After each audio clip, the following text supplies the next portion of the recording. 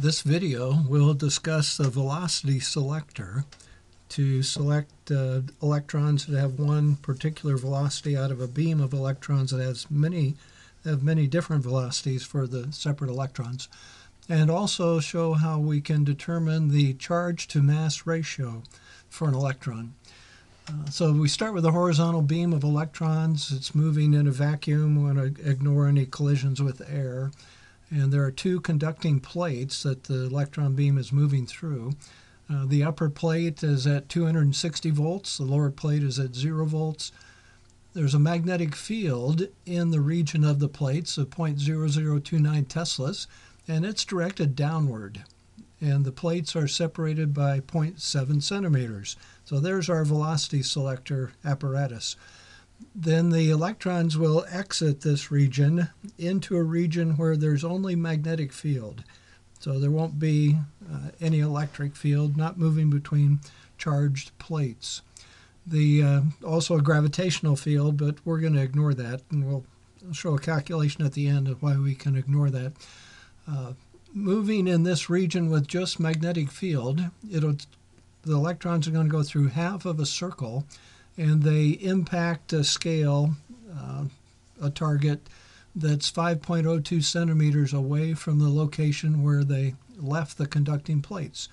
Um, we want to calculate the charge to mass ratio, and along the way, we're going to calculate the velocity coming out of the velocity selector. So let's take a look at a, a diagram here on the left. So the, the plates, the beam of electrons traveling through there, the circle with the X indicates a magnetic field that's going down into the paper. So the zero, the circle with the X, that's magnetic field uh, directed into the paper. So we have uh, electric field that's upward, the 260 volts, that's a positive 260. The electrons are going to be attracted upward and they're going to experience a magnetic force downward. And for the magnetic force, if you recall, the magnetic force is, um, I'll write it here. It's a vector calculation where the vector force is Q V cross B. We have to use a right hand rule to determine the direction of the force. We first extend the fingers of our right hand in the direction of the velocity. That's going to be off to the right. Then we rotate the wrist of the right hand so we can easily bend our fingers down.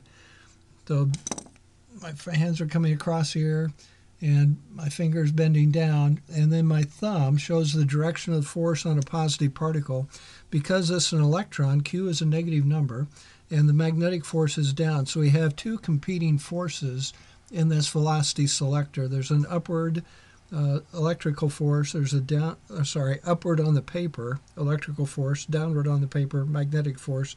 They're in opposite directions. Um, so, how's this going to play out? Well, the velocity selector, there will be one velocity for which the magnitude of the electric force equals the magnitude of the magnetic force. Those electrons will go through in a straight line. The other electrons, if they're traveling slower, the electrical force will dominate and they'll head towards this positive plate. If the velocity is greater, then the magnetic force dominates and they head towards this zero voltage plate. So that's uh, one consideration. To simplify this, the Q's are the same on both sides. So it's just the electric field value equals the velocity times the magnetic field value, or the velocity is equal to the electric field divided by the magnetic field. We're going to need the number for that velocity, so uh, we can work on that by first finding the electric field. The electric field is the voltage difference between locations divided by the distance between those locations. So we have 260 volts divided by 0.007 meters the plates were separated by seven centimeters, but we need to convert that to meters. So I find 37,143 volts per meter. And I don't round off intermediate results. I wait till the end to do some rounding. So we have that uh, consideration. So what else can we learn about this now? We can learn the velocity of the electrons that go straight through. We have the value of the magnetic field already. The velocity is electric field divided by magnetic field. We now know the electric field, so we go ahead and divide those numbers 37,143 divided by 0.0029. I need to slide that up for you. And we find that the velocity is 1.28 roughly times 10 to the 7th meters per second. Is that possible? The answer is yes. What we would compare to would be speed of light. 3 times 10 to the 8th meters per second is our speed of light. So we're safe here. This is not a relativistic uh, problem, and it's not uh, exceeding the speed of light especially. Now, in the region with only the magnetic field, the magnetic field is what creates the centripetal force that turns this uh, uh, electron in the path of a circle. We already know from our discussion earlier, the right hand rule tells us the magnetic force is down on the paper. So we're going to be, at first, feeling this downward force. But as the velocity changes direction, the magnetic force also changes direction. The magnetic force is always directed towards the center of this circle. If I put a few more magnetic force arrows on here, as the electron moves uh, in that path, the force is always directed towards the center. That magnetic force is a centripetal force. Well, moving in circular motion, we know that we can set up uh, the magnetic force. Here's our description for the centripetal force, mass times speed squared divided by r. and we don't need direction anymore. We have the magnitude of the uh, magnetic force. This force is constant all the way around this semicircle. Uh, the Q is the same, the speed is the same all the way around the circle, and the magnetic field has the same value. As this particle, as the electron goes on this path, its velocity is a constant. The force is perpendicular to the path, so the force is not doing any work on the electron. The force is perpendicular at each point to the displacement, so the work is zero, the velocity is a constant, um, and therefore the speed is a constant. We can simplify this and solve for charge divided by mass, q over m. So I'm dividing both sides by the mass. I'm dividing both sides by vb one factor of the velocity cancels, and we end up with b in the denominator. So the charge over mass number is can be found by the velocity divided by the radius of the circle divided by the magnetic field strength. We were given that the uh, diameter was 5.02 centimeters, so I've converted that to meters, and now we divide by 2 to find the radius of the circle. This r stands for radius. We were given the diameter, specifying how far the distance was to the impact point. So we have the r value. We already knew the magnetic field value and we knew the velocity number from earlier work. So let's go ahead and uh, put in those numbers. And I find the charge to mass ratio and do this calculation on your own. Pause the video and uh, fire up your own calculator. And I get 1.76 times 10 to the 11th coulombs per kilogram charge to mass.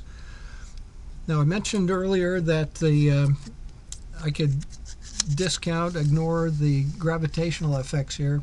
I knew that from experience, but uh, just for confirmation of that, the force of gravity on the electron, multiplying the mass of the electron by 9.8 uh, meters per second squared, uh, is 9 times 10 to the minus 30 newtons the acceleration, we already knew the acceleration, 9.8 meters per second squared. We're dealing with gravity at the Earth. What about the time to move around the half circle? Well, 2 pi r divided by the time would be the speed. So I've simplified here. We're doing just half the circle, so the distance is pi times r. And dividing by the speed will give us the number of seconds for the electron to move around half the circle, and it's not long 6.2 10 to the minus 9 seconds. If we use the kinematic equation, then uh, the acceleration is constant, gravity, talking about the downward acceleration due to gravity on the electron. So the distance that we move downward, assuming we start at a y position of zero and the velocity in the y direction is zero, then the kinematic equation simplifies to the y distance the electron moves downward is one half at squared. A is 9.8. The time is 6.2 times 10 to the minus 9 seconds. And this electron's moving down 1.9 times 10 to the minus 16 meters, ignorable. So the path here is uh, just due to the magnetic force on the electron, and we've found the ratio of charge to mass for the electron. We also reviewed a little bit electric force and magnetic force balancing, give us a velocity selector. Uh, if you'd like some other uh, physics and astronomy videos, they're listed at these two websites. It's free, uh, no charge, and there's uh, a link to each YouTube video on this website. will take you directly there after you find a video you're interested in. If you find these videos useful, please uh, subscribe to my YouTube channel.